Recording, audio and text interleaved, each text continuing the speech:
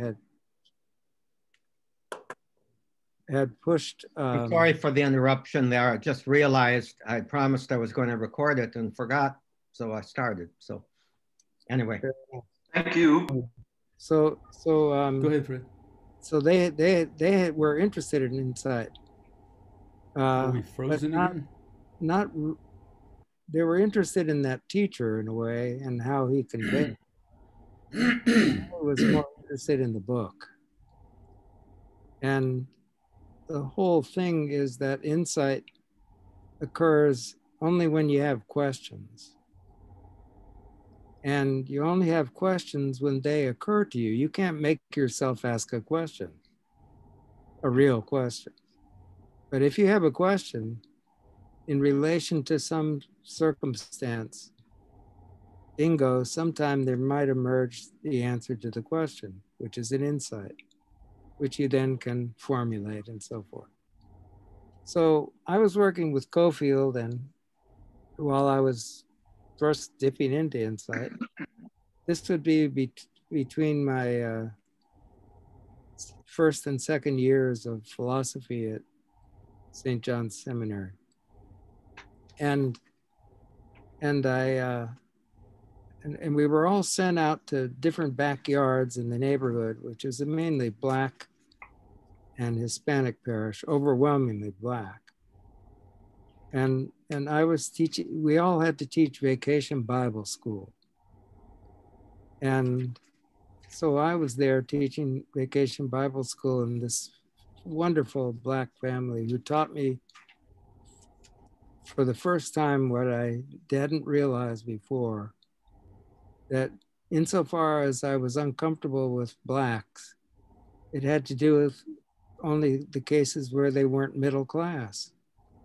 But this was a middle class family with four kids and the father who worked two or I think maybe three jobs. And they lived right across from a project. And the project was something you didn't want to go near because the smell of rotting meat in the sewer was so strong. But anyway, I did go over there and I got to know the janitor there, who was a poor guy who lived on salami sandwiches on white bread. And they had one of his big problems was people moving out and leaving their apartments in disarray.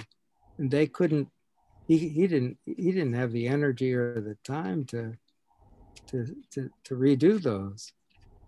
So I got the idea that of, of uh, maybe after I finished vacation Bible school, I could, which only lasted for a few weeks, I could go to the person who ran this place and ask for money to clean out the apartments and to repaint them and so forth, which he kind of was stunned, but said yes.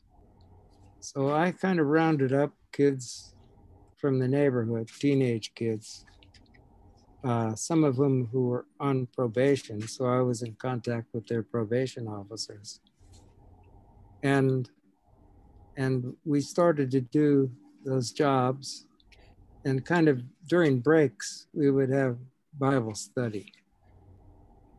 And every night, Cofield would call all of us together in the evening and ask us, well, what's going on in your vacation Bible study place? And basically, the most of them were in the position of doing their vacation Bible study job, but not really connecting very well with whoever they were teaching. And basically not too much was happening, but I had I had this experience of getting one insight into the concrete after another and starting this whole project so that we cleaned out apartments and eventually Father Cofield came and said mass in one of the empty apartments on the first floor and people would drop in and so forth and so on. Uh, and after he did that for a couple of weeks, Cardinal McIntyre said, uh, This sounds too much like communism. Oh, my. So you have to stop it. it kind of broke my heart. Oh, yeah, jeez. Oh. And and uh, I was really scandalized.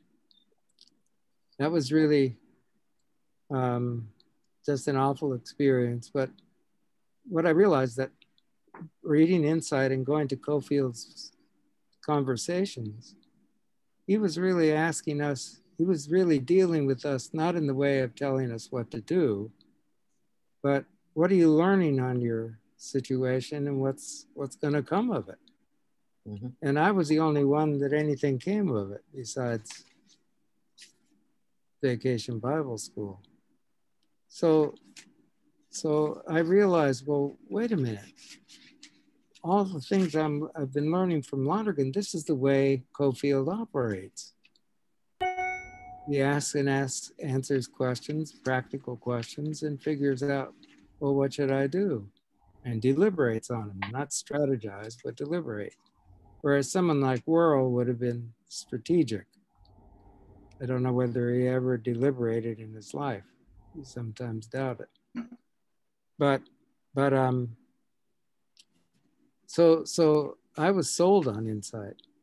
And then when I, when I got on the same boat, I think that you took, uh, Tom. Yeah. I, I, uh, I was told by a, a fellow who met me and was interested in Lonergan too, that Lonergan was teaching there. And so I didn't realize that.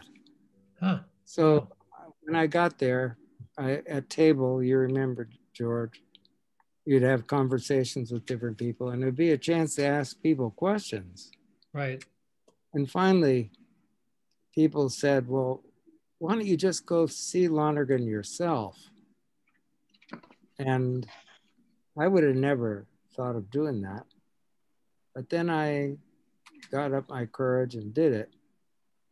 And that was the beginning of a wonderful converse, conversation that got to go on for years.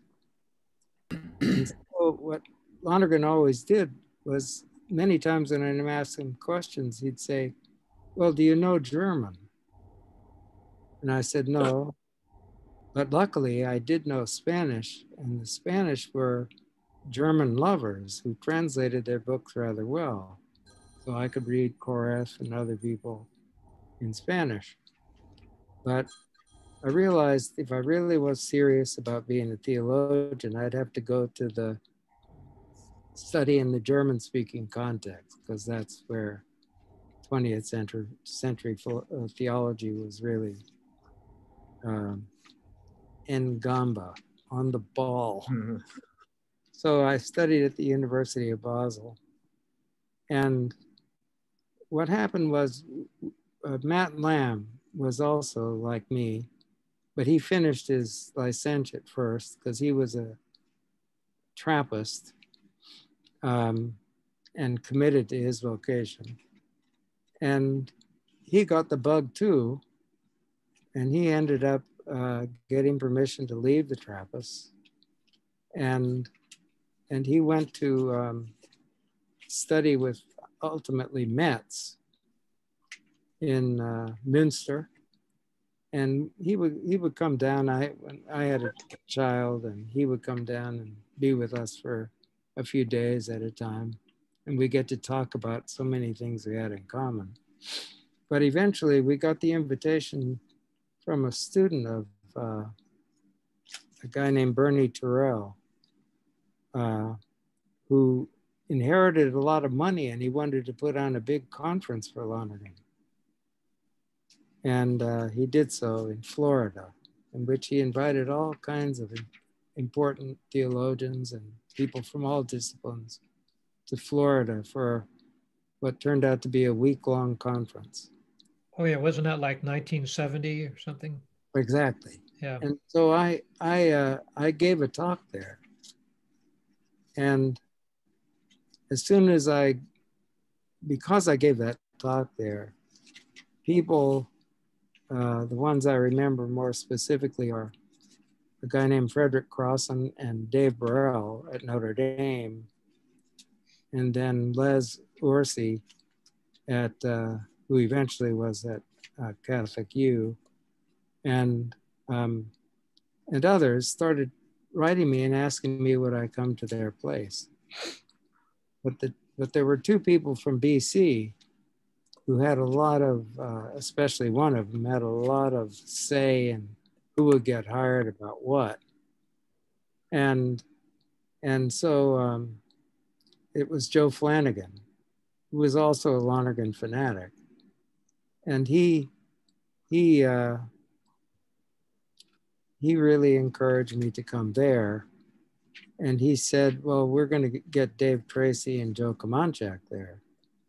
And I said, Well, hell, there are no two people I'd rather be with than them. So I signed up. And that was really how I got there.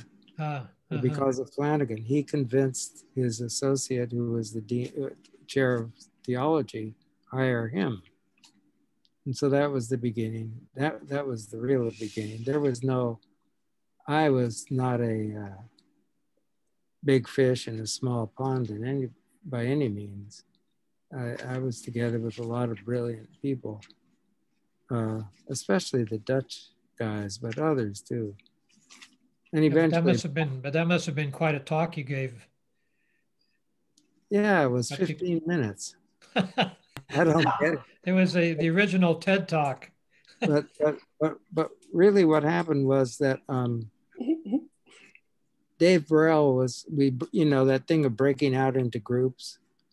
Yeah. Dave Burrell accidentally landed in some of the groups where I was too. And so I think he had a lot of, a lot of influence on Fred Crosson, who was also there. So that was really it. I, I think uh, uh, there's a lot of romanticizing of my past, uh, which is not exactly true. Well, but nothing I did, I, I did become an important part of the theology department. There's no doubt about it. And I had the good luck to have Shawn as my doctoral student who attended my classes, and I directed her dissertation and so forth. Shawn Copeland. Oh yes, and yeah. she she's she's an amazing person. Yeah, why don't you describe her to the group? I really don't know much about her except that uh, I think she's. Isn't there a, a, seminary that she's at? Chandler.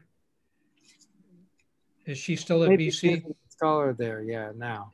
Yeah, uh, but she's an African American woman theologian, right? Exactly. She's from Detroit and was a Sister of Mercy oh. of the Detroit division. I see. And I remember one time uh, t- taking a walk with Rick Cassidy, uh, who was our classmate uh, there. And I was telling him how I'm, I'm going to invite Shawn Copeland to come to the Lonergan workshop. And Rick, I always remember him saying, Shawn Copeland, because he was the director of uh, their their justice department in the diocese there, and and he knew she was famous uh, already, and it was really something to have her not only come to the workshop but to eventually come to BC where she lost her sisterly vocation, but she became a leading scholar uh, uh, uh, among what are, what are called Black theologians. And, and she is uh, just an incredibly talented writer and speaker and super involved in all the racial issues that we're all caught up into now in a special way. And uh, just a just a wonderful colleague and person. Uh, she started teaching at different colleges and eventually she gravitated uh, to come back to BC. And uh, what a wonderful thing that was. So, so um, eventually a lot of people came to BC, uh, including my dissertation. Uh, I did my dissertation on Gadamer and Lonergan because Lonergan always talked about Gadamer and his method in theology, exercitatio courses at the Greg, which I attended. Uh, and that was after I stopped attending classes at all uh, at BC because by and large, the lecturers were, guy, were just guys who were pretty much repeating what they had in their Latin textbooks. It, yeah, and, so you uh, mean at the Greg, at the Greg, you stopped going, Greg, yeah. And, and uh, as, as, as Lonergan used to joke, uh, the Greg, the teachers at the Greg seem to have forgotten that the invention of the electric light bulb and the printing press. you could read their notes. And if, if a person was just doing their notes, then you didn't need to attend, which wasn't really kosher, but that's what I did. I stayed home and worked on different on different things. And you had to pay the kids tuitions. Uh, no, so well, that was later. That was yeah. later. So my Sue is here right beside me, and she's she's. Hi Sue. Hi Sue. Told me I had to pay. She, they're all saying hello to you, Sue. Oh.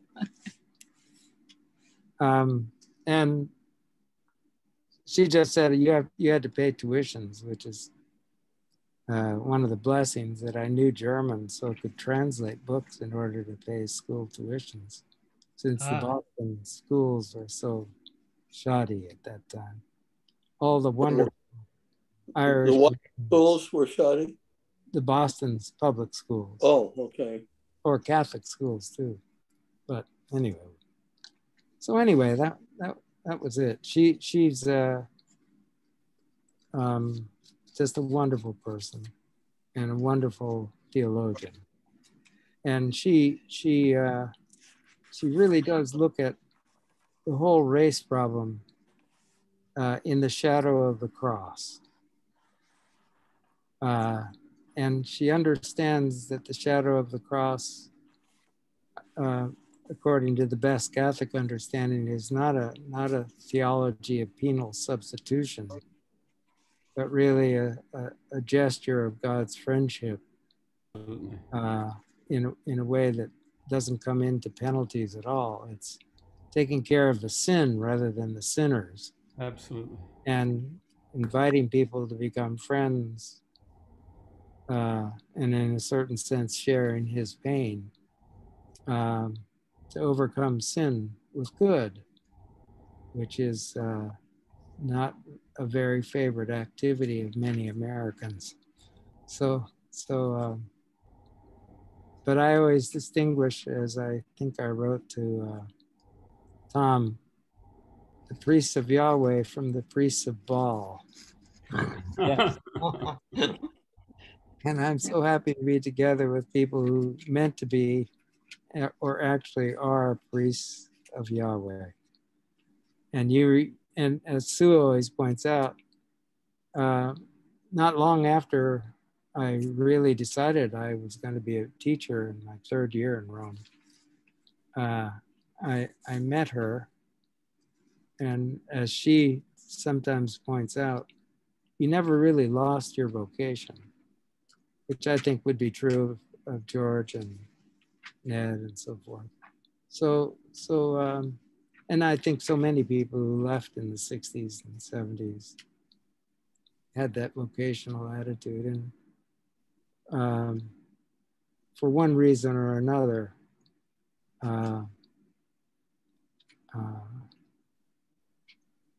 someone said, uh, you can't put live hens, live chicks under a dead hen, which is, was his analogy of churches in general. Oh, so, so, uh, so apt. Wow. So, so, so, there is that way in which uh, people could have good reasons for deciding to leave. I, I, I think I share some of those. It's anyway. kind of like the the diaspora. Yeah. True. Sending, yeah.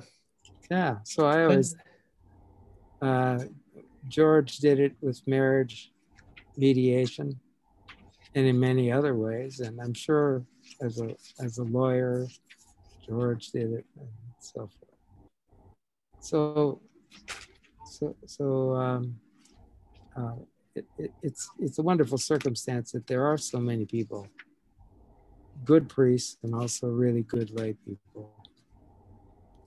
I, I wonder, okay. uh, we've struck up a collective acquaintance with a young priest here whose Archbishop Gomez is, I don't know what to call it, supervisor. Uh, well, um, what's the term at the Chancery office? Um, uh, evangelization?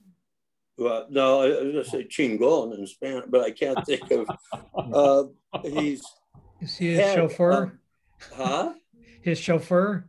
No, no, no, he's head of all the pastoral programs. Okay. And he's a young guy. He's been a priest about five years. And he tells us that our generation of guys who are still priests are just splendid fellows, you know, dedicated and, and uh, engaged, et cetera, et cetera, and uh, not anxious to retire. Um, and uh, and but that the young priests are kind of uh, restorationists, I guess. I don't I don't know exactly what to call them, but very anti-Francis, um, and um, lazy. And, uh, and, and then the ones after them are the ones that are lazy, the guys in their 40s and 50s. He describes this archdiocese, at least, as very disengaged. Um, So, is, do you see any such patterns, Fred, at, at your student or uh, Well, I, I, I think I wrote to Tom that I had the experience of uh, being called back to uh, Frank Rowan's 50th anniversary of ordination. Yeah, yeah. I think I sent that to all of you, didn't I? Oh, then you know. So, so uh, I don't think I didn't. We lived, right, we we lived right across the street from the diocesan seminary here, and um, my son registered what I saw myself. That um, what a difference between the people that gathered together at Frank's ordination to celebrate with him and the people you'd meet in the seminary at his time. So, so, so there is this um, uh, really almost in the first 20 years. Well, Lonergan had a wonderful sta- statement. He said, after the church has been sitting on the lid for 400 years, there's bound to be an explosion. I think that's what happened in the first two decades after the after the council. And so you had people who uh, were really becoming derailed, and and and then and so you had the people who uh, have a conservative bent that were very upset by that, and I think overreacted against it and that continues, as, you, as George pointed out, with the attitude towards Francis. Mm-hmm. Um, the, they, uh, he came from Argentina, where there's a where the political theology is a teología del pueblo, and he has the smell of the sheep on him, and he's more like the way Gomez uh, interpreted uh, people that were more or less our contemporaries, um, who, who were really engaged. Um, and, and, uh, and so the people who were worried about holding down the fort, so to speak, uh, they weren't altogether without justification because there were great abuses and stupid things that were done. But on the other hand, uh, that was no reason to have this tremendous reaction against the council and so forth that came up, and having this whole idea that uh, all the people who talked about doing things in the spirit of the council were more or less the spawn of the devil. Uh, that that really was an overreaction the other way. But um, one good thing about Lonergan is he talked about bias. and bias is is is mainly the reason why people uh, close off questions. Uh, don't ask further questions, and and so you have the internecine squabble between the conservatives in the church and the so-called liberals in the church who aren't necessarily liberal at all, but they're thought of as liberal, stereotyped, and it's a kind of internecine warfare. And it's a sad, sad state of affairs in the church today. Uh, seem anywhere, you would think that this long after the council, it would have been assimilated by the church, or am I naive? I mean, uh, what, what was the council over, 65? 62 to 65. I was yeah. there for the last three sessions. Um, and it 55, was 56 years ago. Uh, it was it was uh, an a wonder an amazing opportunity to be there at the time. Uh, Fred, wouldn't you say that continental theology had a lot to do with the good results of the council? Oh, oh sure. First, first, why don't we understand uh, continental theology.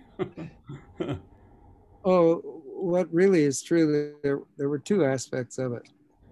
One was a movement that started way back in the late 20s and early 30s in places like Spain, uh, France and Germany, where, where they went back to the writings of the fathers of the church.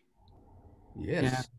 And, and what the church, they had a sense of what the church was like when it when it, uh, you could say the pu- pre bureaucratic church. Yeah. The more pastoral church. So one of the great, one of the great movements that affected the council from day to day, really, through the people who were chosen to be periti for the bishops, mm. were on the one hand what they called les ressourcement, going back to the sources in a historical critical way. And on the other hand, aggiornamento, which has to do with, well, we really need to renew the church and we can't keep sitting on the lid, so to speak. But most of the people, um, uh, that, that uh, phrase somebody used, company men, the people that got chose chosen bishops after Paul VI were pretty much company men. And they were, in a way, brought up under a, a bureaucratically organized church, where unfortunately the mission of the church uh, became a, a, little bit, not totally, but a little bit subordinated to power. And that's what bureaucracy is about the pecking order leading up to the pinnacle of the bishop or the cardinal and so forth and so on. And so when, when Wuerl was uh, decided to resign from being a uh, ordinary in Washington, D.C., my class had a big uh, correspondence on uh, email correspondence about the thing because we had feelings in all different directions about Wuerl. Um, and and guys who are still priests would say that they had noticed cases of say sex sex abuse on, on the part of priests in the diocese and they told their bishops about it and the bishops just didn't do anything about it. They, they covered it up. So you have that sort of betrayal on, on the first level of the priests and the people who are supposed to find them trustworthy in every respect. And on the second level, the second level of cover up. And apparently, as you can see from Francis's last uh, movement about really take uh, reporting people to the authorities, secular authorities. that he wants to end that. And in a certain sense, he's he's admitting that it did go all the way up. Uh, up the ladder. And of course, there was always the justification that if you did anything very public, it would cause scandal. but they failed to recognize what an awful effect that whole thing had on the church at large, um, which was even more scandalous, let's yeah. say. So, so um, that's the way I think I, I see it. Um, I don't I, I don't necessarily think Francis is always right about everything. And I don't care if people are always right. I, I care if they're trying. Mm-hmm. Because coming to know the right course of action is a self correcting process. So he started off, in a certain sense, fending off the people who said that the, the Vatican was complicit. But as time went on, he realized, well, no, no, it has been complicit. So let's do something different for a change. Uh, not every, not everybody goes along with it, but, but he's making a start, and he, he's, he's a learner, um, and in a wonderful way. So I admire him tremendously. He's, he's also, I think, a very cagey ecclesiastical politician. I wouldn't doubt that. No. I don't think he could have been Pope without that. Yeah, that's the Jesuit, I guess. but what, maybe we could spend some time, you guys, talking about your lives a little bit. They aren't as interesting, Fred. well, you could, you know, you could talk about the Jesuit connection that you found, George, for example, and Ned with uh, Herbert Ryan. It Herbert seems like, Fred, it seems like the Jesuits are a connection throughout all of our lives in some sense. And Tom yeah, Welbers is probably true. an honorary Jesuit. That's yeah. yeah, my spiritual well, direction has been under Jesuit. Yeah, and Greg Boyle with Homeboy Industries. Yeah, yeah that's right. Yeah. Oh man. So it sounds like the Jesuits have been the salvation you know, St. Ignatius has really been up there pulling some strings, you know, kind of, but it sounds like uh, the Jesuits, do you think they're more reflective or that the, the Ignatian exercises, Fred and, and Sue, since you live among Jesuits there, uh, are very significant and that yeah. they foster a depth that maybe wouldn't be there otherwise? Well, well, well Fred, are we going to get to, to see Sue? Uh, could we behold her if she's yeah, next to like, you? Would like to see. Okay. Here we go. feeling just. Hello. Hi there. Hi, Welcome. Thank you. Um. Yeah, that was. Uh, I always tell kids when you get married, try to marry someone smarter than you are. I lucked out. I lucked out. You know, you know, Fred. When when uh, everybody uh, when I was in the seminary, uh, uh, my dad used to tell me stories about the Jesuits in um, El Paso. Uh, there was a Sacred Heart Church there that was um, run by the, the Jesuits, and he got into several uh, education programs that they put on. And at one point, when uh, I got uh, to theology, um, he and I sat together and we're talking, and he said, "You know, son, do you really want to be a priest?" said, well, you know, I'm I'm not really absolutely certain yet, but yeah, I, I mean, I'm still hanging in there. And he said, "Well, then why don't you be a real priest?" and I said, "What do you mean by that?" He says, "A Jesuit, of course, a Jesuit." They're the real priests. Uh, and uh, uh, then told me some stories about uh, Padre Garde and, and several other priests uh, there at uh, Sacred Heart Church. Um, so when when George Crook and I made the acquaintance of uh, Herb Ryan uh, from Loyola Marymount, uh, who I guess he'd been there for 25 years, didn't he? Uh, hadn't he, George? Uh, almost. He got there in 1973. Yeah, yeah. For for whatever reason, uh, he he took to us, and and or, or we to him, and we pursued him, and he he surrendered, and and and was just a lifelong friend. Very brilliant. Um, how, how would you uh, describe it, George? Well, uh, I think you did just fine. Uh, Fred, he was the secretary to John Courtney Murray at the Vatican Council. Once Spellman decided he wanted Murray to be his uh, um, uh, Herbert and uh, Murray went to the council together.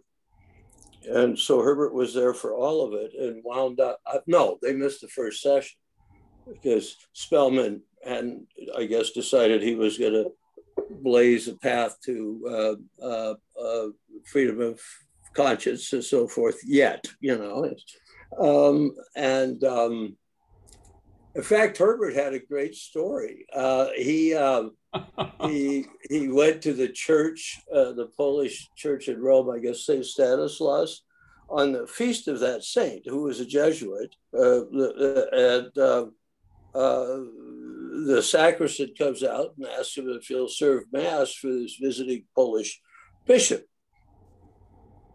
And he said, "Well, yeah, sure." So it was Wojtyla and um, um, Herbert and Wojtyla spoke in French afterwards, the, the, language they had common. And Wojtyla says, So, Father, what are you doing here? You know, that type of chit chat. And Herbert says, Well, I'm the secretary to uh, John Courtney Murray. And then Herbert would imitate the Pope, say, Well, you know Murray? And uh, Herbert said, Yes, you, you, you know, and can I meet him? And well, let me see. So give me your phone number. And that and Murray said, sure, tell him to come on by. So uh, wait, according to Herbert, uh, who could embellish a bit from time to time, uh, Wojtyla and, and Murray stayed up till three in the morning talking. And the next day, uh, Wojtyla gets up uh, and does this intervention at the council. Um, I think it was the last day of that session. I'm not sure that. It says, I cannot go back to totalitarian nation representing totalitarian church.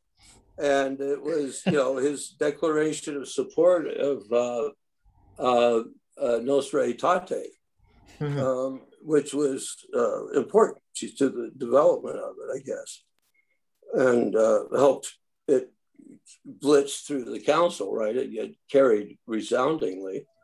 Um, so that was Herbert. He he he thought Lonergan was uh, would have been far far better known had his local bishop had the sense to ask him to be his peritus at the council. Hmm. But for whatever reason, the guy didn't, and Lonergan stayed in wherever he was. What I don't what province he was in, but he was in Canada, wasn't he? Uh, uh, yeah, but yeah, uh, Toronto? And yeah, first in uh, Quebec, which, which, is the province he was born in, and then later on at Toronto when the when the English speaking Jesuits and the French speaking Jesuits. Uh-huh. Do you think, uh, Fred, did, did Lonergan, was he diagnosed with cancer in 63 or 64? Yes. Do you think that had something to do with his not being there at the council? Oh, probably. Probably, yeah. yeah.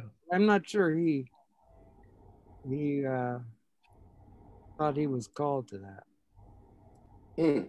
Um, he it was during that period that he wrote um, he had, he taught both the Trinity and Christology at the Greg, and the thesis 17 is on the redemption, and he wrote a wonderful redo of the redemption book during that time that you're speaking. And I bet he wanted to stay with it. I don't know though. Well, it uh, because Cardinal Cardinal uh, Martini who became very close to the Lonergan group, said that in, in some ways he was an important background influence upon the council. Oh, really? Okay, good. Yeah. Well, I, I wanted to mention that when George told me about Herb, Herbert Ryan, I, I, I went immediately and read his, his uh, obituary, uh, composed by the Jesuits. And boy, what, what an edifying person he was, how learned, how many languages he could read and speak. It's just unbelievable to me. And and I thought, what a wonderful providential thing that you guys got to to have him as a spiritual guide. Oh, yeah. no question about it. so uh, I have a former law partner who is an atheist. I mean, he is an atheist. And he had met Herbert on a few occasions. Uh, uh, he had him over for dinner, uh, etc. And it was Bob Cairnet. And, and he and Ellen uh, became very fond of Herbert.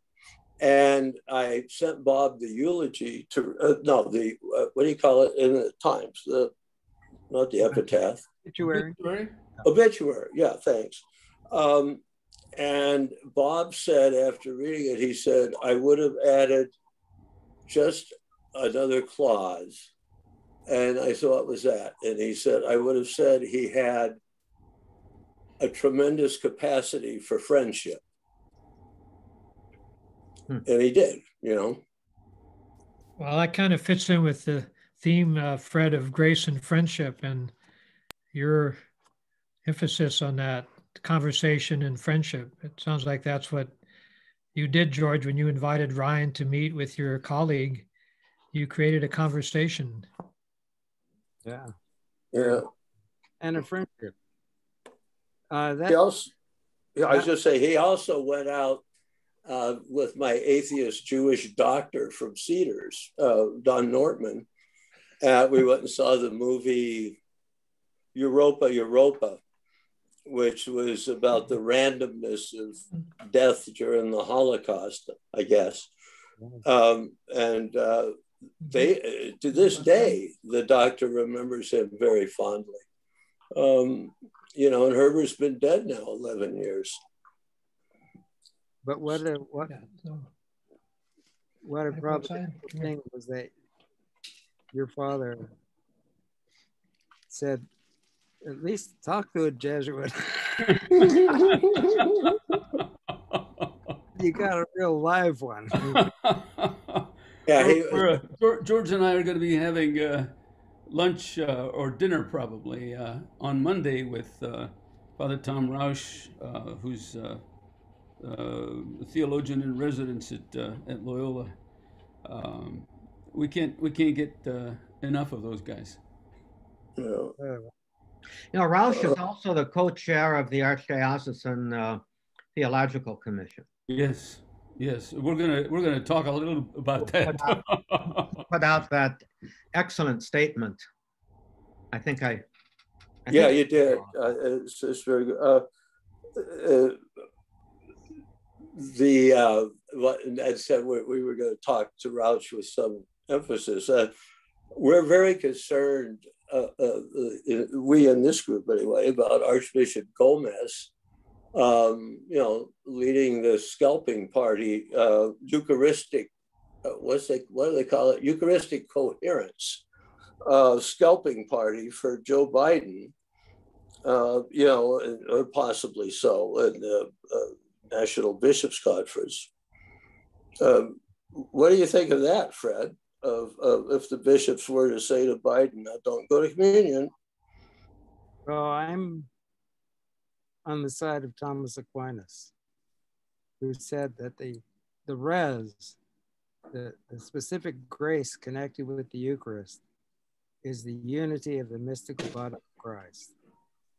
So if you have any reason for keep, keeping someone apart from that sacrament, it better be a good one. And I don't think that's a good one. Nope. So, and I and I think using it, uh, people use the phrase, but I'm I feel like emotionally it feels appropriate that they're weaponizing the Eucharist. Mm. Uh, that that is so so much of a failure to realize what the what the point of the Eucharist really is. Fred, I, I could you um, tell us, given your vantage point there at BC and and having the, the network of uh, of good uh, friends uh, elsewhere, what do you think about the uh, the intellectual life of our bishops and cardinals in the United States. I mean, to, to have to have proposed that and and uh, almost gotten to a point of of um, discussing it so seriously as to as to uh, appear to uh, be in agreement with it until the Vatican uh, interrupted and said, "Be very careful." And when you read that uh, uh, letter that was written, uh, it, it's basically saying, "Stop, think, don't do anything until you hear from from us." Is basically what I interpreted the thing to say. But how? As can... Father Cofield would have said, Ned, they're saying observe, judge, act. I don't think.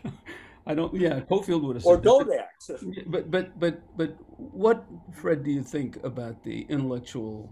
Uh, well, just just the the the, the thoughtfulness, the the the uh, sense of of of appropriate theology uh, uh that would that should underpin, be the foundation of, uh, of the care of the pastors who are cardinals and bishops in our, in our church. I, I, I, could go on, but I, I, what do you think? I hope I've made some sense. Well, uh, you'd make a lot of sense. And I think a thing that I become increasingly aware of is how much institutions shape us. That you may even be going into an institution like the College of Cardinals or the dicasteries or even the diocesan bishop, and and uh, think you're going to really bring things in the right direction. But before you get to change anything, you're being changed by the institution.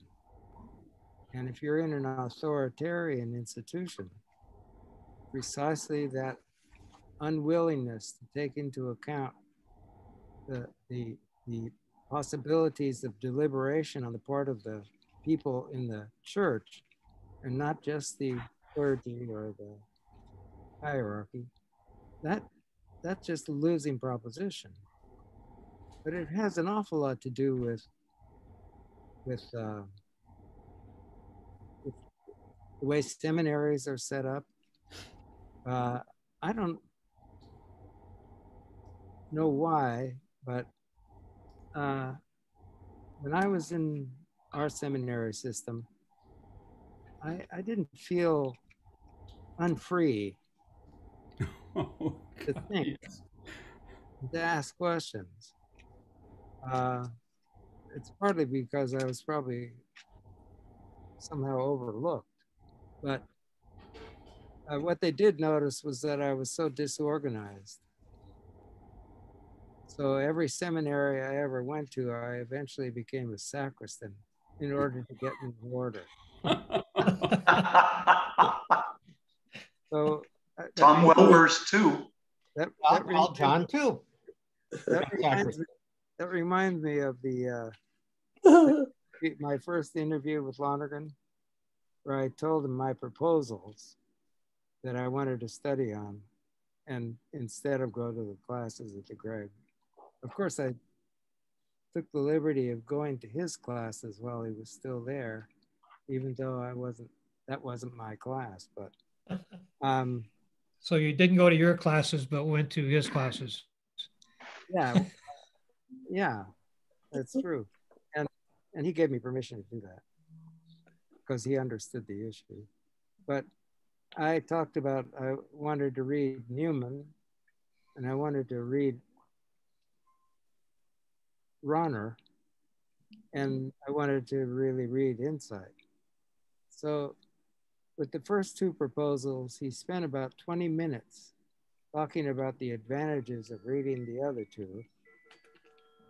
And then he said, well, about insight, um, it'll put a little order into your life.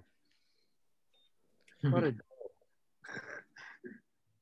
I, I, it didn't put too much order into my life, but still, I've learned and and uh, gotten so much out of it in my life. But but the other thing is, uh, Lonergan used to say he used to be uh, his courses were not that easy. The subject matters weren't easy, and his courses weren't easy. He was the best Latinist at the at the council. Um, not at the council, but at the, in the Greg. It, but it's funny because at the same time at the council, they were saying that uh, the Benedictine bishop from England, his name slips me right now, was the best Latinist. He and Cardinal Gracias were the best Latinists at the council. All the Latin Americans and Italians and so forth, Germans, didn't touch him. So anyway. I think that was Hume, right? Basil Hume? No. No, I think his first name was Basil, but not Hume. No. But you're. Hume may have been later. He, he also was a Benedictine, wasn't he? Right. He, no, it was uh, another person. I can't remember his name. At any rate, um,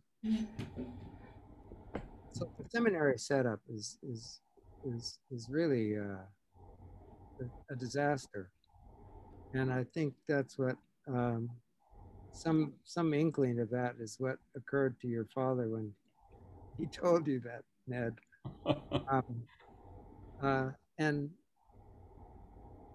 uh, I I had a little taste of the difference between some kinds of education and others, because when I took philosophy, the philosophy professor said, "Well, we're not going to go into this too much because you're going to have it in theology."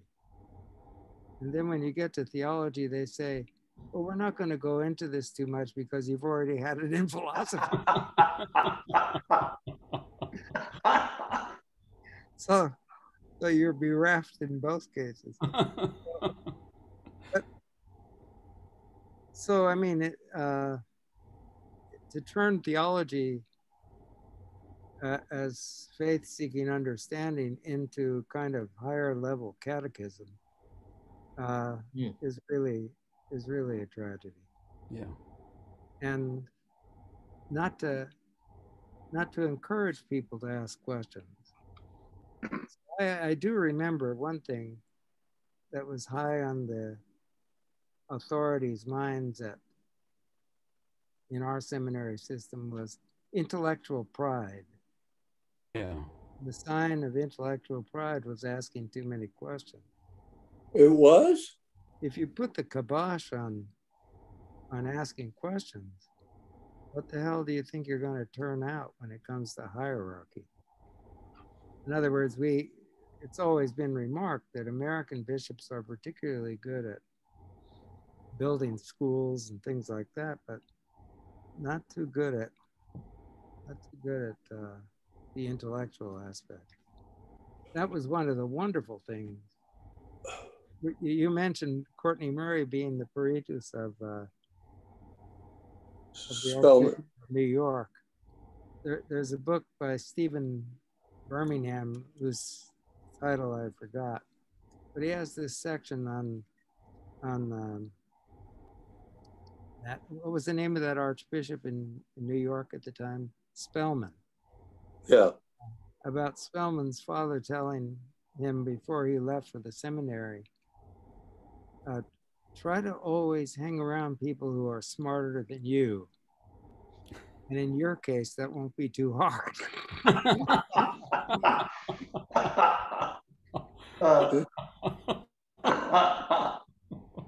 well, he was shrewd, if not intelligent. Oh, of course. They're calculators rather yeah. than operators. That's one of my themes I'm harping on these days with the uh, the technicization of everything, having algorithms figure figure out your strategies rather than you deliberating. Because technical expertise is about figuring out means, the most efficient means to further means. But the means you're figuring out the means for are going to become means themselves. Mm-hmm. Whereas deliberation is figuring out the means that's in line with in line with the fact that for the sake of which you're living your whole life and decide making every decision you live. Yeah. But people don't really see the difference and are taught not to see the difference because deliberation in the serious sense or practical wisdom in the serious sense is is uh, fall, has fallen into desuetude, you could say, along with confession. So, um, so that that that's an awful thing. Uh, I think when I look back on our junior seminary days, uh, I had kind of extraordinary relationships with some of the uh, our teachers. And by and large, it was really edifying for me. Father Barr, he used to come into my dorm on weekends when nobody was there, and we'd talk. Um, and he, he, he was funny, but he could deliberate. And he said one of the most important things I, I recall from his whole litany of sayings, which was that confidence is that feeling you have before you really understand the situation. that sounds like Barr. Yep. That's that's the kind of confidence that our bishops have. they want to stay that way. In Europe, I got the chance to uh, come to know Cardinal Martini. Really? Who had been the uh, rector of the Biblicum, uh, and and also um, the Cardinal Archbishop of Germany, who had been a uh, an assistant to to um, Rahner in his early life, uh, but in his older life, when people wanted to do a festschrift in his honor, he said, "Don't do it in honor of me. Do it in honor of Hans Urs von Balthasar."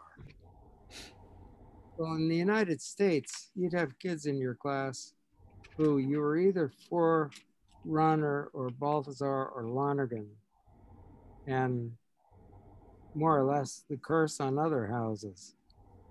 Where here is Lehmann saying, no, no, you, anyone who's great, you want to learn from both of them and you admire both of them. And so I admired, always have admired Rahner and Balthasar, uh, even though I'm an enthusiast for Lonergan. So, so um, uh, guys like live wires like Phil Berryman and and uh, and Jerry Fallon and a few others. They, they really were uh, interested in the fact that I was interested. Uh, my friendship with Berryman as well as with Fallon has gone on till Fallon died, and now Berryman's still a very close friend.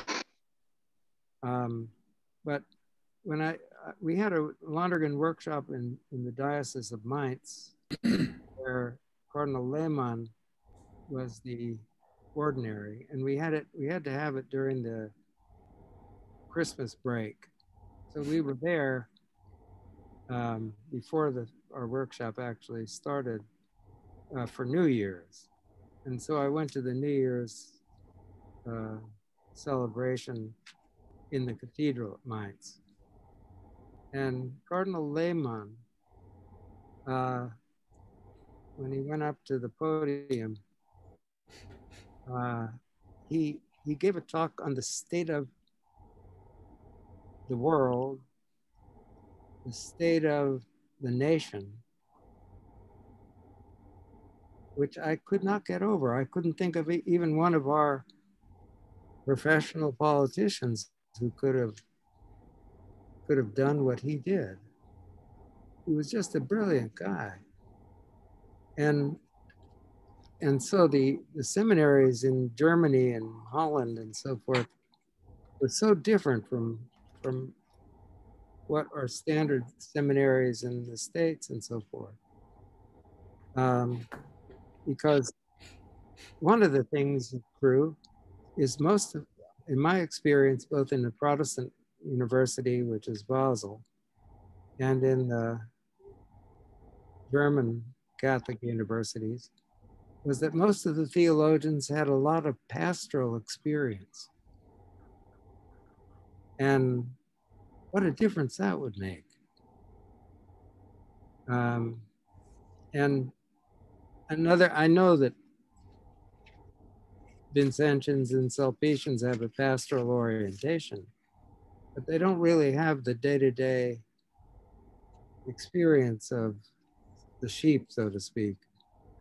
But in Germany, they did. Karl Barth did, and all the other theologians. Uh, so, um, so that made a great difference in the way they taught everything. Um, and it, and it, and it gave their vocation as theologians a, a, seriousness, which I don't think was manifested in the average um, seminary theology. Of course, every seminary tended to have some really brilliant guy, like the uh, guys from Baltimore had Raymond Brown, and the guys from D- Dunwoodie, the New York diocese, they had their great scripture scholar. And the interesting thing was, uh, in terms of the big guys at their schools, that they all tended to go into scripture studies and to break with the uh, wrong kind of study of scripture, which was ahistorical and uh, not scholarly, scholar didn't have scholarly responsibility to the, to the to the data and so forth. But but not every seminary had those. Uh, we could think of one that didn't. yeah. Yeah. Yeah, it's a it's a shame. But what what luck to have gotten into a place where where you did have a lot of serious people. Um, and so it's luck, but so I think uh, certainly the Jesuits are extraordinary. Um, but there are uh, not so hot Jesuits too, um, who don't have a real intellectual life, um, are really not asking and answering questions. Mm. And and uh, so I think I suppose you'd have that with any congregation, but in the Jesuits, you do have that tradition of cultivating your intelligence. And that, as you know, is absent from most diocesan seminaries where the bishops come from. Now, you could have the opportunity that Tom had uh, of being sent to Rome, uh, and George and Larry Shelburne and people were sent to Rome. There was a, you had a shot there. Um, as you know, Rome could also be seen as the dead center of Roman Catholicism. Right, with the emphasis on dead, huh? Dead center, yes. Good call. Say what what you know. I fought. I I wasn't sent so much as I fought really to go and study liturgy, which was not popular in LA at that time. Uh, it was dangerous. Oh, uh, yeah. And uh, I really wanted to go to Catholic U. um, or Notre Dame. And they said, no, no, no. If you're going to go, we'll let you go for one year uh, to Rome, to the, you know, where, where it's, quote, safe. And so I found it an extremely good experience simply because that was where people from all over the world gathered. And so I was in day to day contact, not just with a certain rarefied ethnic group, but with people from everywhere. That's and to me, that was uh, the, you know, in my humble estimation, at San Anselmo at that time, the academics were moderately good. There were some really, really great pioneers, but uh, the academics in general were, you know, you could read their notes in Italian and sleep through their classes or whatever. But uh, uh, it, it, it, was the contact outside of um, outside of the uh, the institutional structures that really, to me, I found life giving that was that was a tremendous thing about being in Rome during the council. Yeah, because people from all over the world were there, and periti from all over the world. Mm-hmm. So you could go to a briefing by Schillebeeckx, let's say, uh, and another day you could hear De Lubac, and it's just amazing uh, the, the the, the amount of how they would go into the issues and a way of framing the issues. Another thing that really impressed me about the council was that the structure of the thing was that certain people, once they got rid of the uh, official things from Rome, the Dead Debt Center, uh, they started having people who were competent in the different fields write the write the first drafts. And the bishops would read the first drafts, and the more intelligent bishops would comment on them. And not all the not all the more intelligent bishops were singing in unison. Mm-hmm. Some of them had important objections or changes that they wanted made. And I thought it was interesting that the minority voices didn't get just canceled out. And in fact, um, there was a specifically conservative Italian council, uh, cardinal, I mean, who was there, who had a lot of influence because he was on the main committee. And I and I remember. Um, Ottaviani? No, it, but he was important, but he he wasn't uh, too outspoken. Hmm. Uh, he was really more of a holy guy uh, than one of these operators. Hmm. So, so um, is the guy you're thinking of? Was he from Palermo? I I, uh, I just read something the other day about o- Ottaviani was you know semper idem, which was his Episcopal motto, but that um, uh, this guy from Palermo was the real, you know, bruiser in the trenches. Uh, and I, his name starts with a P. I, I can't uh, think think of. I know who you mean, and I can't think of it either.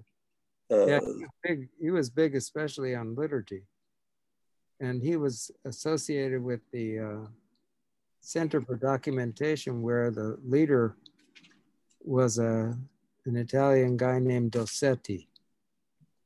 I don't know whether you uh, learned anything about him while you were in Rome, Tom. I don't recall. But he was an extraordinary priest and and uh, had a great influence on the council. Also, it wasn't Cardinal Lercaro. No, not the not the guy I'm thinking of. The, okay. um, yes. well, Lercaro was definitely a pastoral man who was forward moving, wasn't he? Yes, yes, very much. Yeah. But at any rate, um, uh, what I heard was uh, that one of the most radical periti. They would be considered radical, but they weren't radical in a, in a very serious sense. But they would have been considered radical in that context. But he went right over in the after the last session um, of the of the uh, council and met that priest. It begins with, his name begins with an A, but I can't remember what it is. And he and he thanked him for his interventions during the council rather than and I felt uh, uh, the feeling was that it was genuine thanks. And I thought it was a tremendous mark of the church that you, you didn't even have the possibility of what we have in our um, Capitol building today of people taking sides and trying to get the power to outvote the other side and so forth and so on. That they really introduced the modifications of people who are conservative and they respected their opinions, not, not, to, not necessarily always, but very much. And I thought that was really a wonder, that was edifying for me. Um, now, Fred, after the council, we had concilium, and then there was a spin-off. Communio. With com- Communio. And were you involved in any way with that? Uh, with not, I mean, I was a reader of all. Yep. But not a, uh, not a, I was, I'm really not a well-known theologian, um, except in small circles. So, so uh, no, I was not. I know David Tracy was. David Tracy was one of the older guys at the Greg who, along with our own uh, diocesan Frank Colburn, mm-hmm. who last mm-hmm. parish was St. Andrews in Pasadena. Yes. Right. He he uh, he's one of the guys who I think because he didn't come to the seminary from our seminary, but he came to the seminary from Detroit, where you were allowed to ask questions more freely. So how did this how did they let you read that paper on a sense of wonder? Oh, didn't. I mean, I, I, I hope I manifested that I had wonder, but I never. Uh, do you know that paper? I remember the talk, and it lit some good discussion among our classmates. Wonderful. Sokol, oh, yeah. in particular, for me.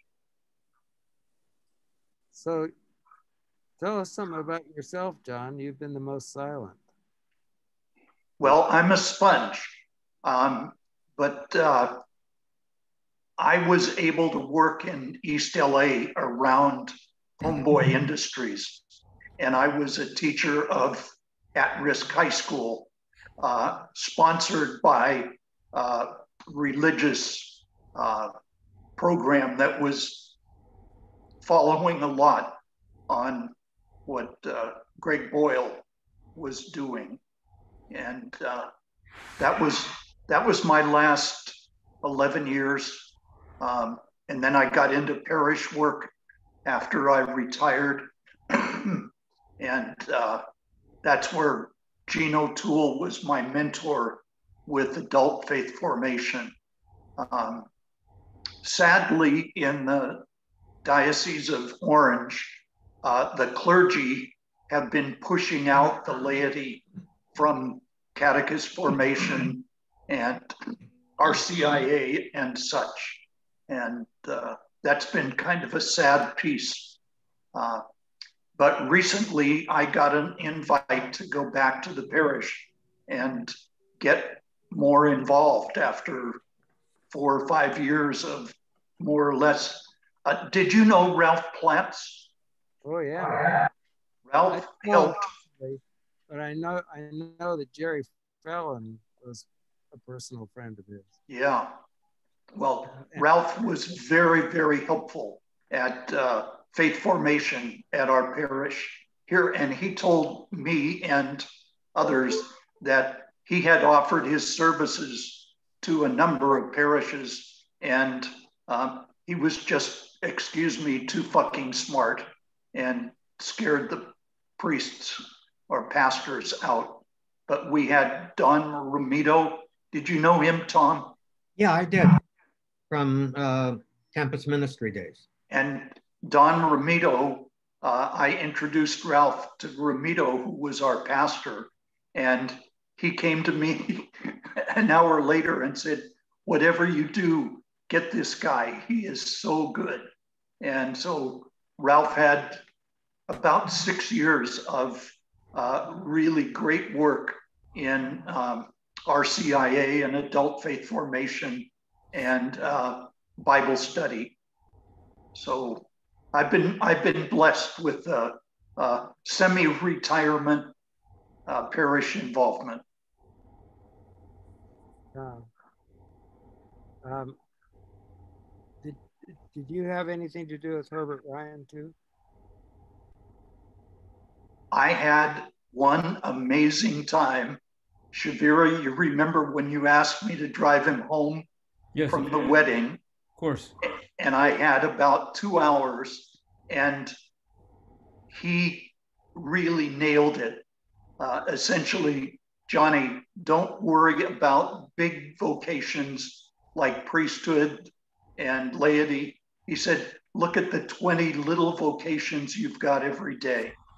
And um, I think that that illustrated for me why the I, I think so many of the Jesuits have that sense of the small voc- small vocations all day long, which I think Pope Francis shares. And that's very Ignatian.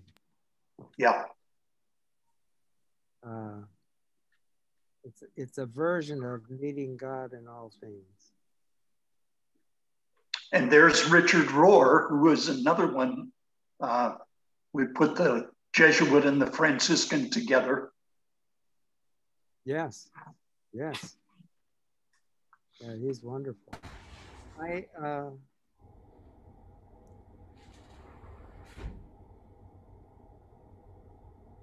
when when you when Herbert Ryan was your mentor. Did that last only while you were at uh, Loyola, Ned and? No, um, Fred. Uh, um, both our sons went to uh, my sons went to um, Marymount, Loyola Marymount, and while there, uh, I met uh, a student who, uh, a lawyer, who had uh, gone from Loyola to Harvard and had been guided throughout his career there at Loyola by Herb Ryan. Uh, his name was uh, Bonifacio Garcia. And uh, Bonnie wanted me to meet Herb. And this is, uh, you know, I'm, practicing law. Bonnie is practicing law. George Crook is practicing law, and and uh, I had the opportunity to to meet uh, Father Ryan, and instantly liked him, uh, and invited him to our home. Uh, and uh, at the same time, I invited other folks that I thought would be very interested in, in uh, hopefully forming a relationship with uh, Father Ryan. And George Crook was one of them. And uh, uh George asked him a very uh, good and personal question during that uh, living room group conversation that sort of began his friendship with, with Herb. So the, the friendship developed. This this was during my fallen away Catholic period, Fred.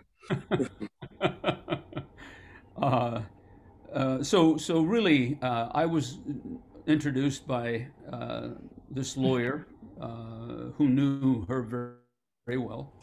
Uh, I introduced George to Herb, and um, very I think it was fairly quickly that we began to visit uh, a lot.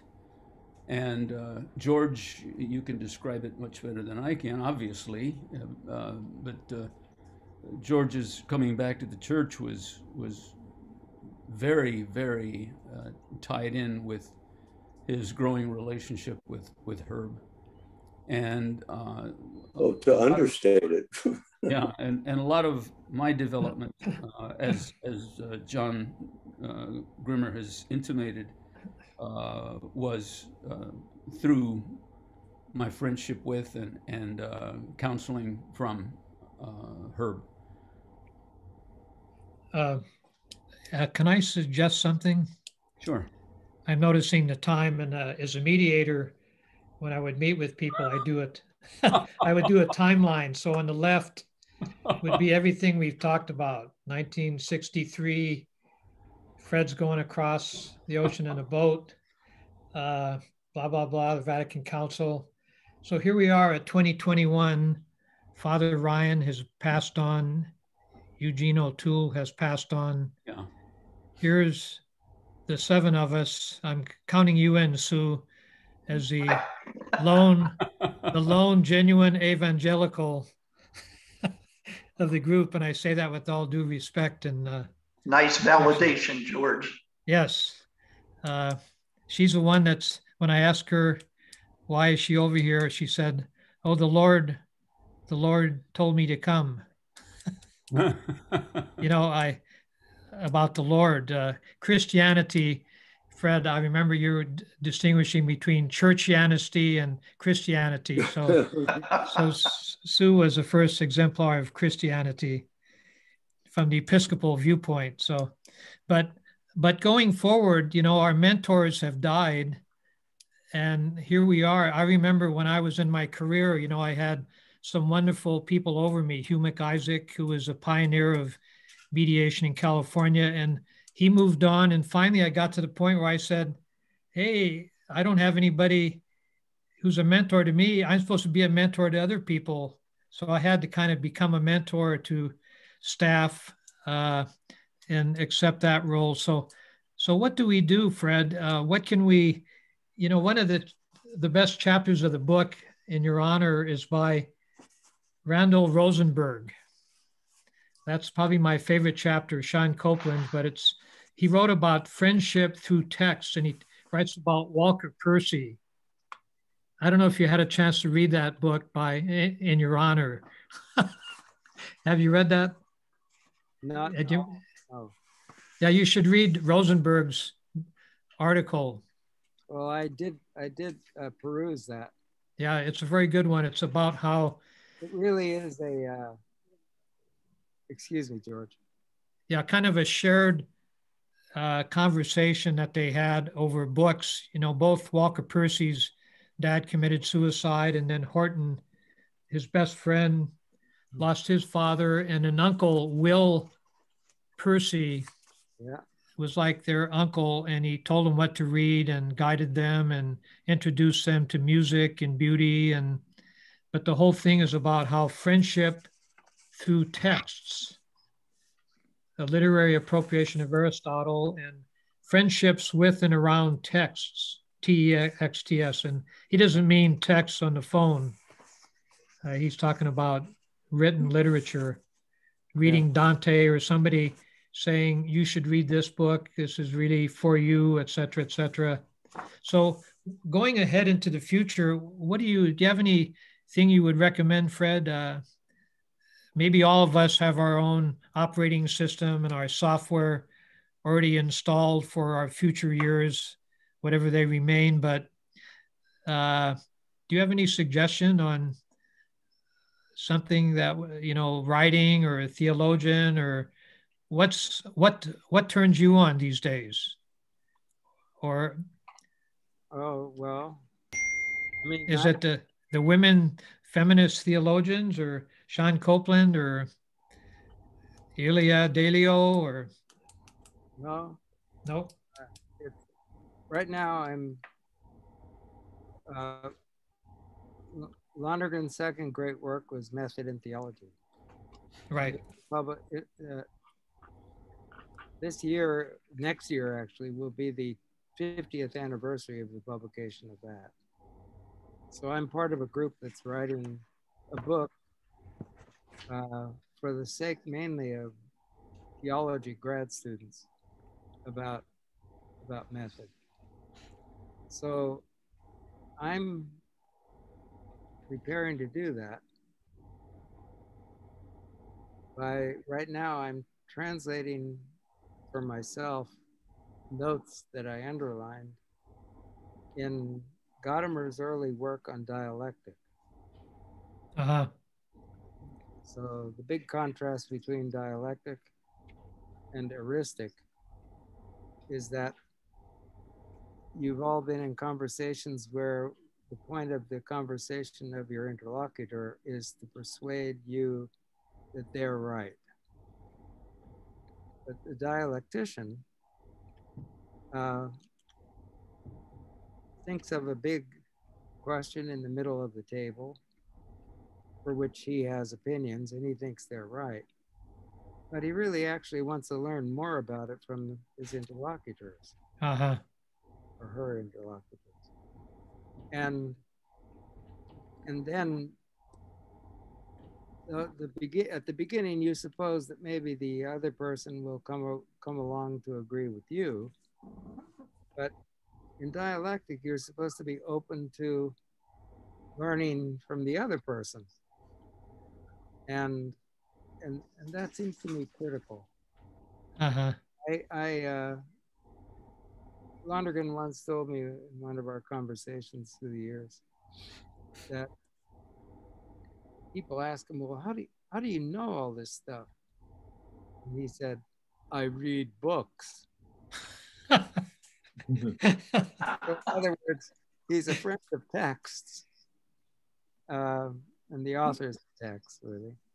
So, so, um, so, so it's a constant learning that we're doing, and you you try to deepen learning, and that's that's kind of what I'm trying to do because Lonergan's pivotal chapter, but not the most important in method, uh, has to do with first you have establishing the text, then you have interpreting, and then you have the history of the interpretation of texts and of other things. And finally, you have dialectics.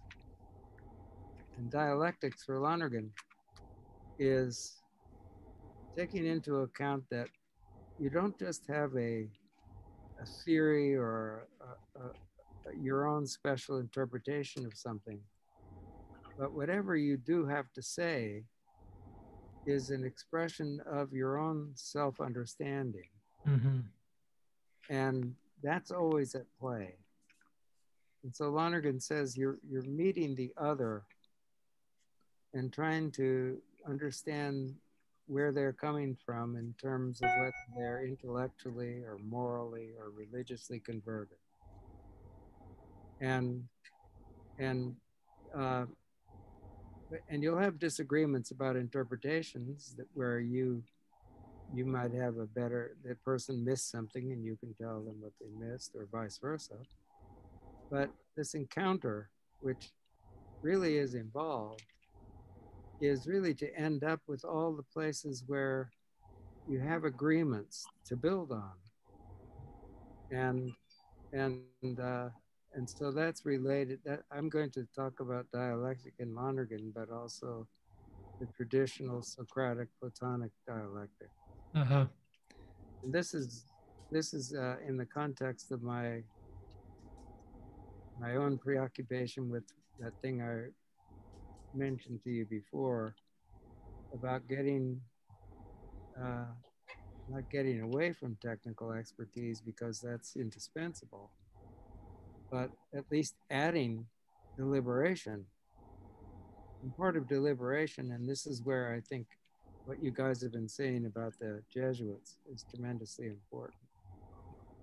And the spiritual exercises after the after reaching a kind of culmination of examination of your own life and your own failings. You have this uh, opportunity to make a choice between the two standards. And this is from the Spanish days of two farm two, two armies fighting against each other mm-hmm. and and holding up the standard so you could see where your your friends versus your enemies are. And one is the standard of Satan and the other is the standard of Christ. And and so what you're really going to do is figure out everybody has a that for the sake of which they decide and do everything they do. And whatever it is, it's their God. And their God could be an idol. On the other hand, it could be God.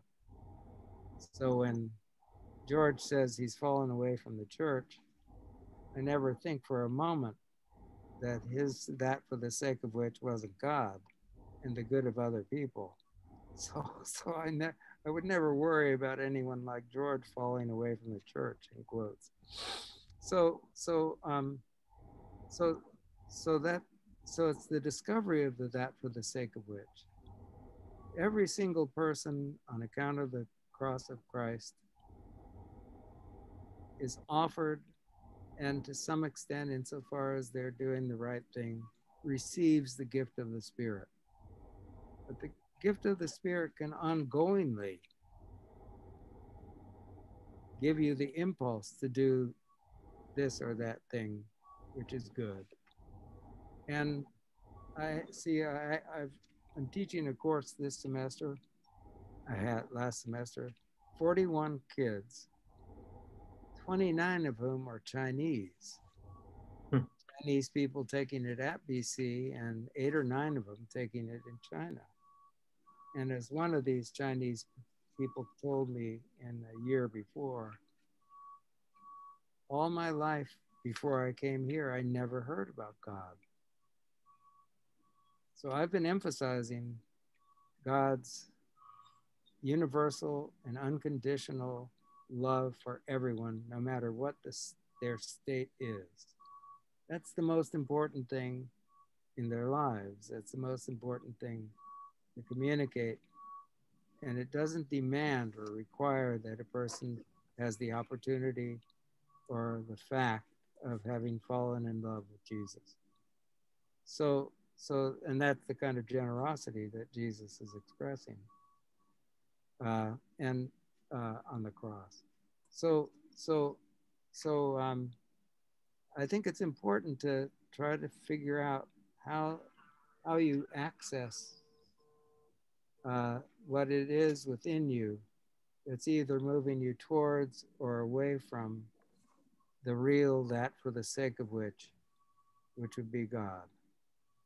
And the, the jesuits have that front and center. So they have their intellectual apostolate which i said which i think is indispensable and overwhelmingly neglected by the organized church for the most part but on the other hand, you have the exercises, the daily examen, and so forth and so on, which, which, which or, orients you day by day. And if you have both of those together, that's that's a wonderful thing, no matter what your talents or skills may be.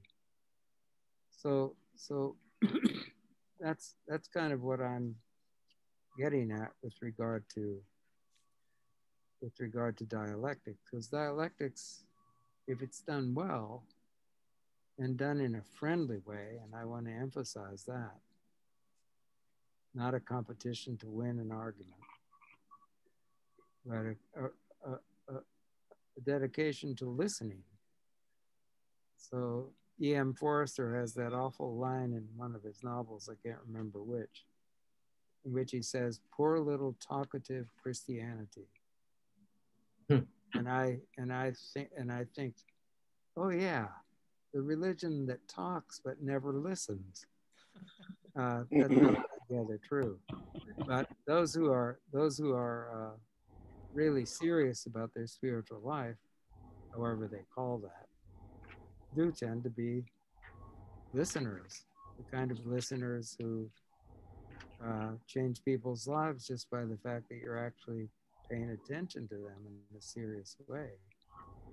So, so that's that's my preoccupation, and it's going to have to do with being intellectually, morally, religiously converted. And the religious conversion, although you may not think of it by name and by a certain standard, it's the condition of the possibility, I think, of being really genuinely intellectually or morally converted.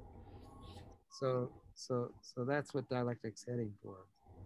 But it has to be genuine dialectic, which has a great deal to do with listening.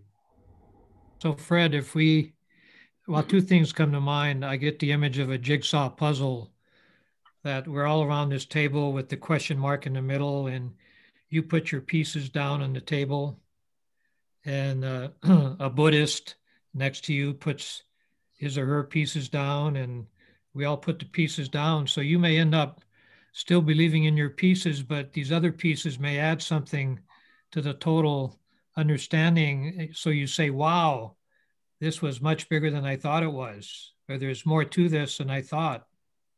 Is this that is, kind of it? This is what bit? my friend George does. well, yeah, that's what I did in mediation, metaphors.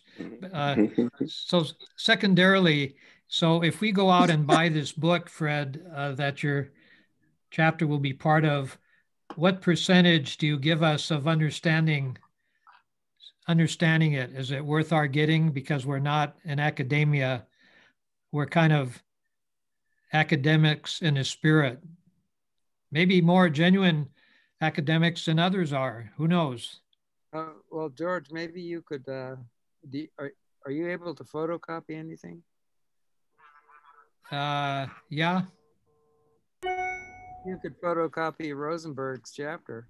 Yeah. Share it with us. Maybe we could talk about it next. next. Yeah. Great idea. Yeah. Fred, can you do this again? Yeah, I'd be happy to do it. I mean, ever since I said I would do it, I've been longing for it. Oh. Happy day. Sue, check that out, Sue. Boy, are we flattered. Yeah. so, so Sue, I just want to say that, uh, uh, Sue, are you still there? Is Sue gone? No, she's there. I'm here. Hi, Sue. Hi. Are you still a young lifer? Uh, well, no, not not officially, but you'd always be. Uh, you know, I'd always tell anybody that I thought it could be a benefit, I would tell them about Young Life. Yeah. Uh, in fact, I think way back in the Lonergan and some of those days. Yeah. They met Jim Rayburn and loved him too, and he loved the seminarians he met.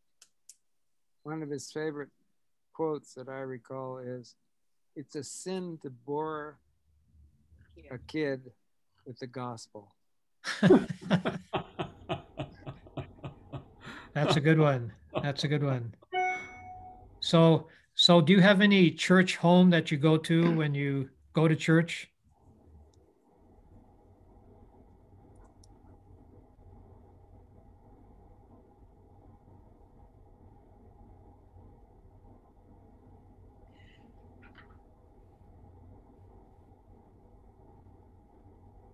Could we maybe get Sue to sit next to Fred?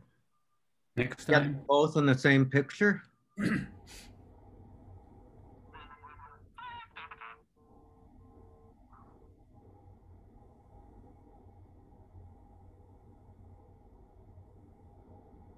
He's thinking.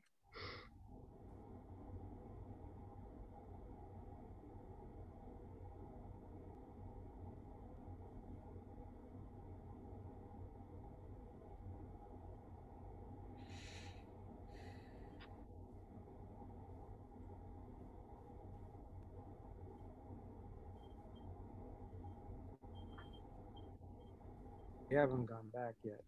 We're waiting until after the workshop. Uh, in, in the third full week of June. They can listen to all. And you would all be welcome to do that. To do what, Fred? To, to join the. Oh. If You want to of the Lonergan workshop. When is that? How do we do that? It's the third full week in June, and I can send the person who is in the uh, Lonergan email list to add your names to it. Not that you need there's any obligation or whatever. Or you, would certainly be welcome. I'm sure you would enjoy part of it. Um, one of the things that happened this year is that two uh, overwhelmingly great Lonergan scholars uh, and, so to speak, workers in the vineyard, like bringing out the collected works of Lonergan in one case. Uh, so that's Bob Doran, the Jesuit from Milwaukee, uh, who used to be head of the Lonergan Center in, in Toronto, and uh, and Philip McShane, who's a uh, Irish uh, former Jesuit, who is an expert in math and the sciences, who feels like most of most of the people involved with Lonergan studies haven't even started yet. Um, but he has really uh, coached a lot of a lot of people in a tremendous way. Um, they both died this year, so we're going to have papers that involve honoring them. Ah, but uh-huh. paper uh, in honor rather than a tribute. Uh, that'll be fine. And some of them are just going to do tributes. So, so that's one of the things that's for sure going to happen this this coming week. But not everybody's doing that. Mm-hmm. But Tom Halloran, you remember Tom? Remember Tom? Tom Halloran? Yeah. yeah. I know. Oh no. Well, yeah. How could I say that? It would only be George who could remember because he was the only one at North American College. At any rate, he's going to give a, a tribute to Phil. You'll at least you might remember him when you see him, uh, if you see him. No, no, no worries. But I'll forward, if it's okay with you guys, your emails to Mary, who is taking care of that for us, and you'll get the prompt when it. Yeah, so it's a type of thing where one could pick and choose what talks one wants to listen to. Is that right? Absolutely. Yeah. Okay. Uh, she's still working out the schedule, which we used to do, uh, because she gets around to everybody over Zoom to see when they'll be available. Yeah. Uh, but as soon as we do have a schedule, I'll I'll email it to you guys. Okay. Great. So, so my final question is, how do you and Sue get to give out pizza to everybody that attend the con?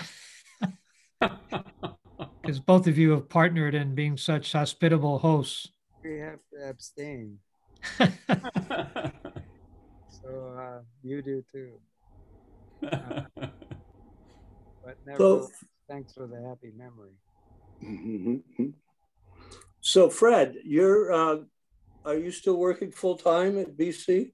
Yes, God willing. And how long do you intend to do that? As long as I can. Well, good. I I, I maintain retirement as a sign of you know a, a character defect. But uh, thank you, George. Betty doesn't agree with me, alas. But um, so um, we, we understand that. Yeah. Because it, um, it is a calling, and you do find that uh, somehow helpful to others. So, like I'm I'm directing a dissertation now uh, of a person who is a Lonergan, was going to do his dissertation on Lonergan, but after reading Laudato Si, he realized that people don't have, um, theologians in general don't have the equipment to, to, uh, to understand the scientific things that go into taking care of the environmental crisis. So he he's doing his dissertation on the ways that Lonergan could help a person navigate that problem hmm. uh, for Francis's sake, and not only for Francis's sake, but all of our sakes. Mm-hmm. So, so uh, the last two chapters, one was 125 pages long, and the other is was 116 pages. So um, so that took a lot of uh, work for me, uh, but it's such a pleasure to be able to teach first people like that. So wonderful people, and uh, as long as I can do it, I'm going to be great.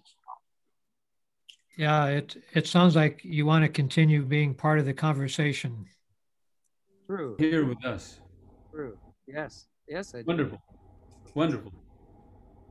Wonderful. we'll get you back. Um, Fred, at the beginning of our conversation, you were talking about your limited uh, engagement with your LA classmates for the seminary or and it reminded me of something I'll tell you about in a minute. But I read you as saying you had also no great enthusiasm for seeing some of them. Um, and I interpreted that as you were sort of either didn't remember them fondly or you regarded yourself as alienated from some of them or was I at all right in those interpretations? Sue, Sue wants to say something. Uh, well, just that he never told me that about his time in LA. And I've lived with him a very long time. uh, my my cohorts, I, I really was glad to be with all of them in different ways. Uh, I I remember we had a fellow in my class who really was was a strange guy. His name was Dale Asbury. I remember him very well. Oh yeah. And uh, and he used to be really bullied by bullied by people. Yes. And he used to come and talk with me about that. And uh, and I, I I, I spent hours and hours walking around with him and talking and I, I, I feel so grateful that I had the opportunity to do that with him. Uh, and I feel happy that he came to me to do that. Um, but it just is the thing that as you get older, uh, you know that people have died. And among them, Dale, incidentally. And, and what happens to me is my memory isn't as good as it should be. So it isn't out of disregard, but it is just the fact that certain people stand out in a way that others others didn't. And it didn't have anything to do with disregard for them. I see. Okay.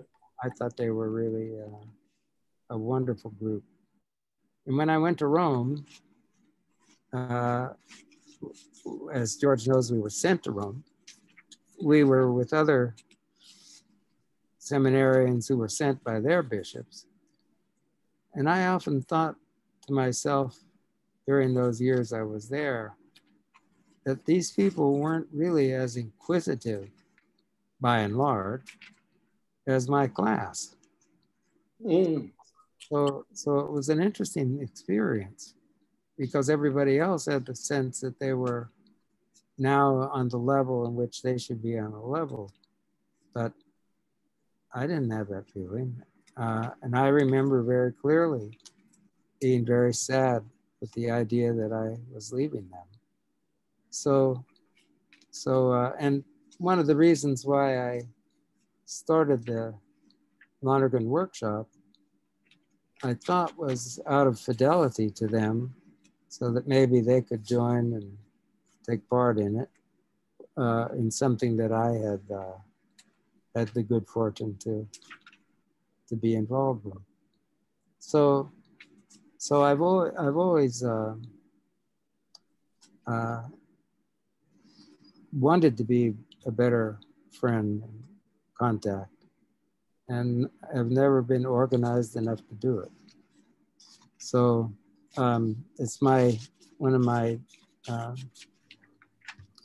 negative qualities. But uh, a wonderful thing I can say, uh, and I don't know whether this is true for you, George. My, my, the beadle of my class organizes a periodic meeting with my NAC class. A lot have passed away and uh, so forth, and are busy in ways they can't always attend, but I, I've been attending that. And it's always a great consolation. Many of them are just like this group, people who have left and gone on to other things than directly priestly work, but all of them obviously have a vocational uh, approach.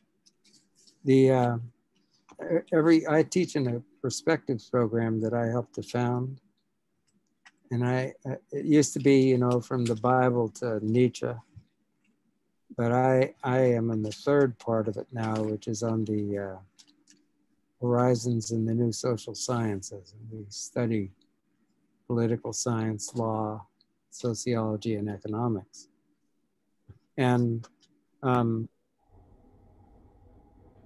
we read uh, towards the end of the course two, two talks by uh, the great founder of sociology, one of the founders, Max Weber.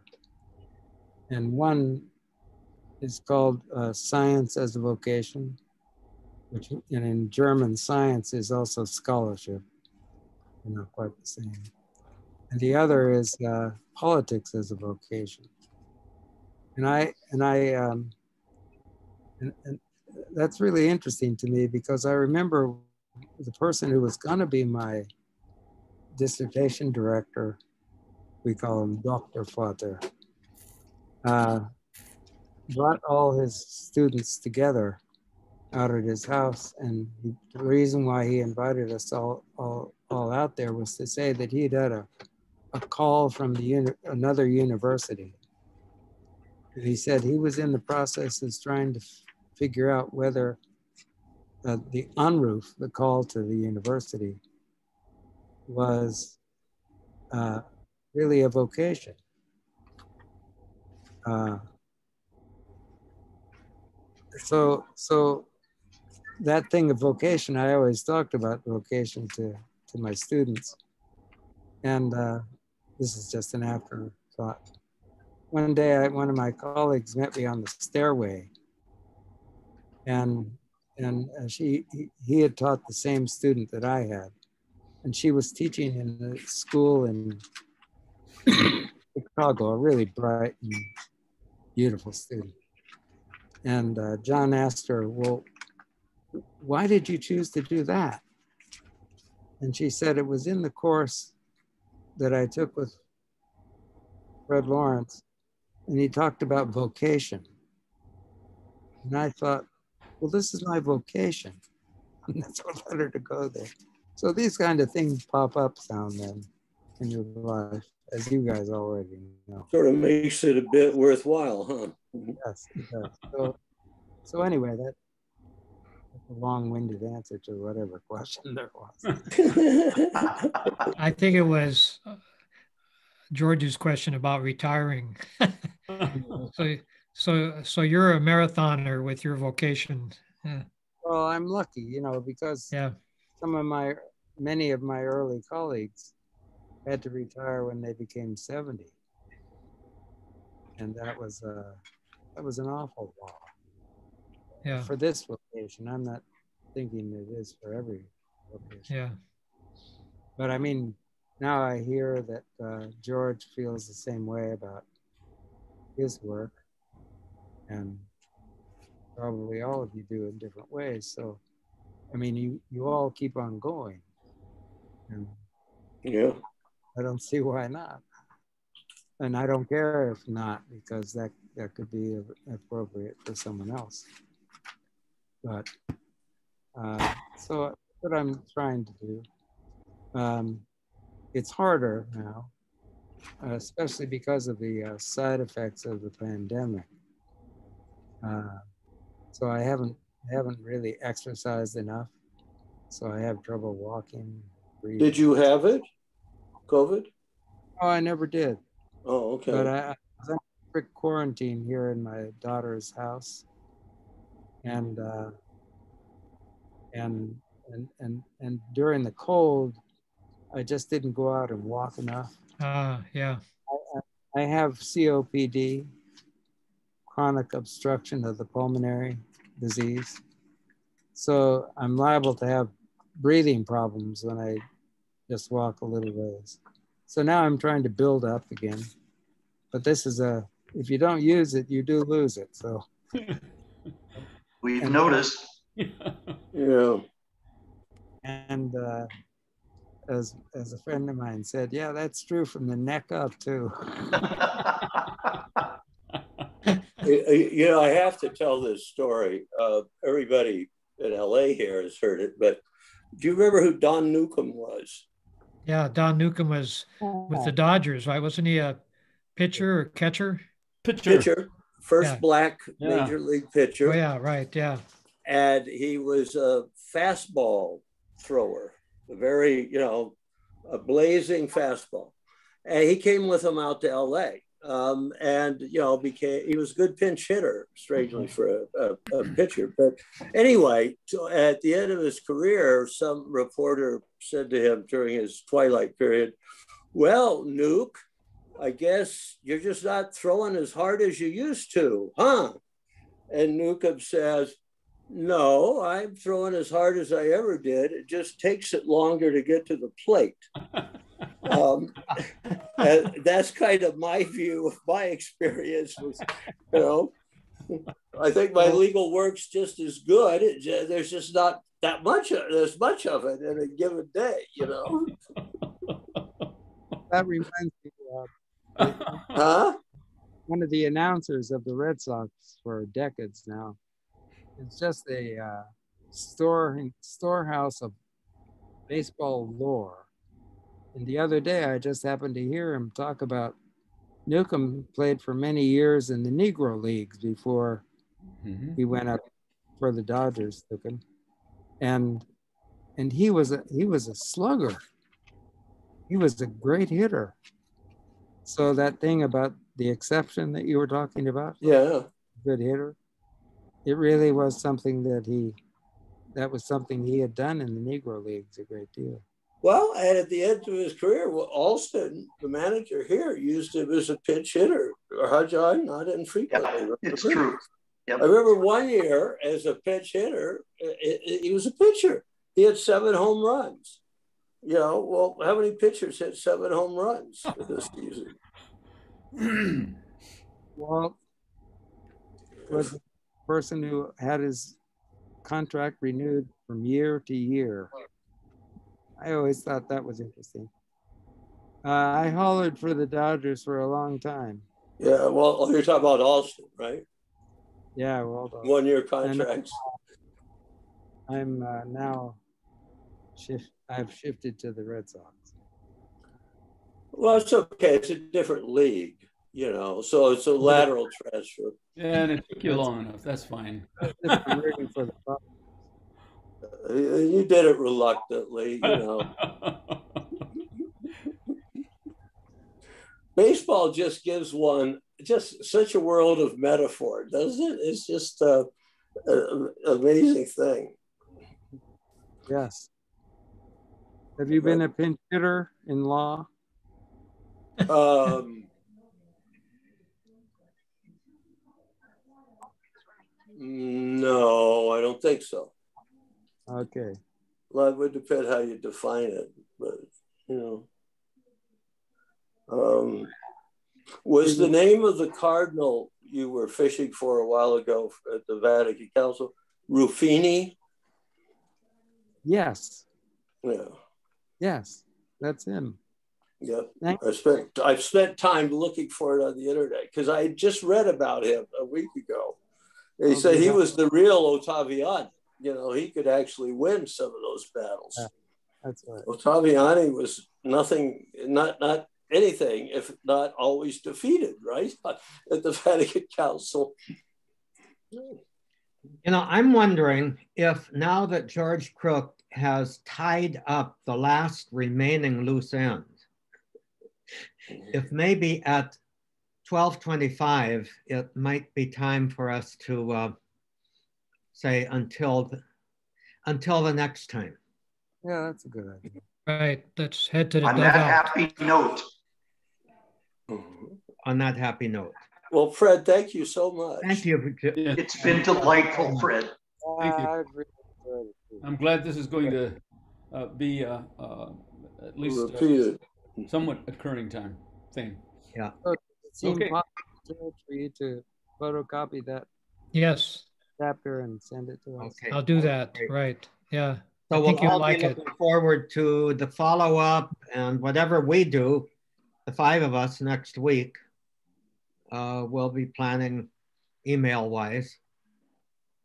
Great. Uh, good. Sounds good. Okay. Well, you know, uh, uh, George, you might be able to avoid the burden of making copies if you if you could scan it and then email it to us. Yeah, that's what I'm going to do. Yeah. Okay. Yeah, scan it. Yeah. Make a copy, scan it, and send it to you. Yeah. Attach it to an email. Doesn't that sound impressive, Fred? That I was able to say that luddite that I am. and is that is that legal? Uh, um, uh, yeah, sure. well, it's Fred's book, so and he inspired the article, so so we'll use Epikeia here. The Jesuit no, isn't there something about fair use? Yeah. Yeah, I, I don't know that law. Yeah, about copyright. Fair, now, fair use covers a multitude of sins as yeah, long as you don't make a fortune off of it. Yeah. Yeah. Yeah. Oh, Tom, would you email me that code you use to break into the Catholic Herald and read stuff without a subscription?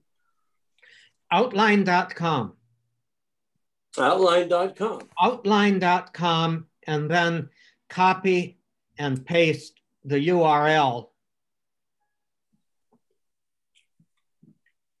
And, Plus URL, okay. And some, it doesn't always work, but sometimes it will get you over the paywall. yeah. Okay. Speaking of doubtlessly illegal things.